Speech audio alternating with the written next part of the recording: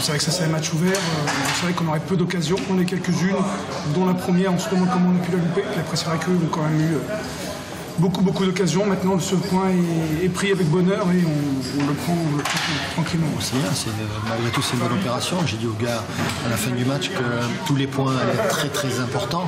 Et celui-là est très important, qu'il fallait les obtenir ben, certainement dans, dans, la douleur, qu'il fallait les chercher. On était dans la dernière ligne droite. En tout cas, bon, c'est vrai que c'est une bonne opération malgré tout de ne pas encaisser de but, de poursuivre notre série.